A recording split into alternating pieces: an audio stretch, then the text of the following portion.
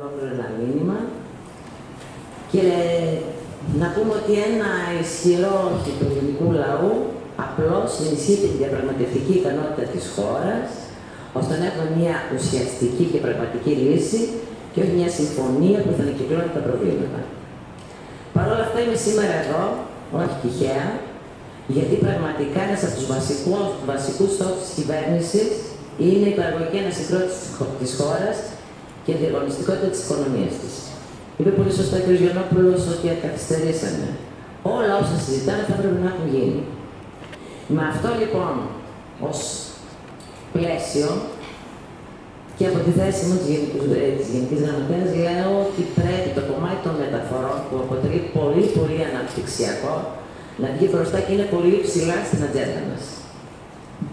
Έτσι λοιπόν, ανεξάρτητα από την πορεία των διαπραγματεύσεων, λέμε ότι η παραγωγική ανασυγκρότηση της χώρας θα γίνει με αξιοποίηση των συντηρητικών της πλεονεκτημάτων και ένα πολύ βασικό πλεονέκτημα της χώρας είναι η στρατηγική της θέσης. Περνών τις αγορές τη Ασία και τη Ευρώπη. Στην κατεύθυνση αυτή λοιπόν η πρόθεση των μεταφορών, η σύσταση και η λειτουργία κατάλληλα οθετημένων εμπορευματικών κέντρων, η έμφαση στην ανάπτυξη υπηρεσιών προστιθέμενη αξίας σε επίπεδο διαχείρισης της αλυσίδας αναμένεται να συμβάλλουν πολύ στην ανάπτυξη των υπόλοιπων τομέων της εθνικής οικονομίας, βιομηχανία, τουρισμό, αγροτική παραγωγή.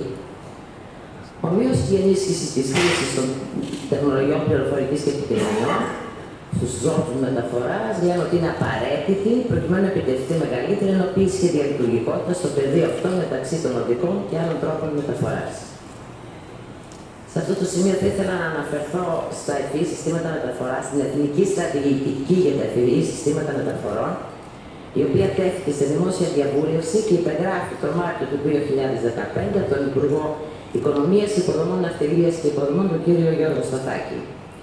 Με την εφαρμογή της παρούσας εθνικής στρατηγικής σε συνδυασμό με την υποεκπώνηση εθνική αρχιτεκτονική για τα ευφυή συστήματα μεταφορών, που πρόκειται να ολοκληρωθεί πολύ σύντομα, αναμένεται να δημιουργηθεί ένα ενιαίο εθνικό πλαίσιο ανάπτυξης των εφαρμογών ITS στην Ελλάδα με διαλειτουργικό χαρακτήρα σε εθνικό, διασυνοριακό και ευρωπαϊκό επίπεδο προ όφελο των δημόσιων αρχών, επιχειρήσεων που δραστηριοποιούνται στην κλάδο των επιβατικών και εμπορευματικών μεταφορών, αλλά και της εθνικής οικονομίας με γνώμονα πάντοτε την εξυπηρέτηση της κοινωνίας και των πολιτών. Ε, σε ό,τι αφορά την υλοποίηση της εθνικής στρατηγικής για την εφοδιαστική αλυσίδα στην Ελλάδα, Έχουμε προχωρήσει ήδη στη σύσταση ομάδας εργασίας από τις, ε, που αποτελείται από τις αρμόδιες υπηρεσίες και θα προβεί στην έκδοση σύντομα στην έκδοση της δευτερογενούς νομοθεσίας που προβλέπεται στο νόμο 4302 για τη ρύθμιση θεμάτων εφοδιαστική.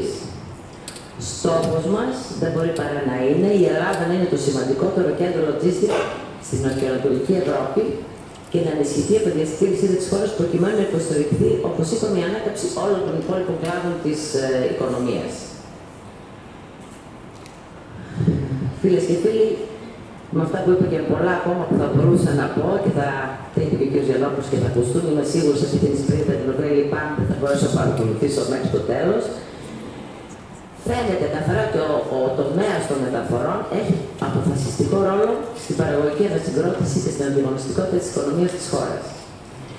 Πιστεύουμε ότι με τη συμμετοχή όλων των εμπλεκόμενων φορέων θα πετύχουμε την, την αύξηση ακριβώς αυτών των ε, στόχων. Τελειώνοντας, λέω το εξής. Η Ελλάδα δεν είναι ούτε επισκέπτης ούτε φιλοξενούμενος στο ευρωπαϊκό οικοδόμημα. Είμαστε ίσοι μεταξύ ίσων. Κανείς δεν έχει το δικαίωμα ούτε καν θεσμικά με βάση τις ευρωπαϊκές συνθήκες που όλοι συνυπογράψαμε να μας δείξει την πόρτα της εξόδου από το κοινό μας σπίτι. Αυτό το δικαίωμα δεν σκοπεύουμε να το παραχωρήσουμε σε κανένα και για κανέναν λόγο. Σας ευχαριστώ πολύ και καλή επιτυχία στην ε, Στερίδα.